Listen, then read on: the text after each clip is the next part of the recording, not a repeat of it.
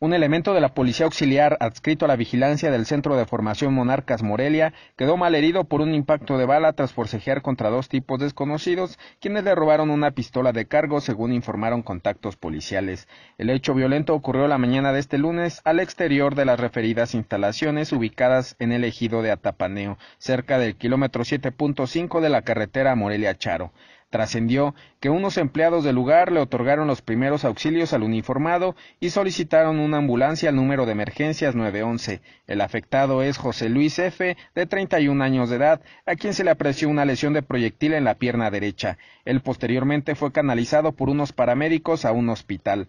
Oficiales de la policía municipal arribaron al sitio de los hechos, tomaron nota de la situación y dieron parte a las instancias competentes a efecto de emprender las respectivas averiguaciones reportó Juan Manuel Álvarez para la agencia de noticias Red 113.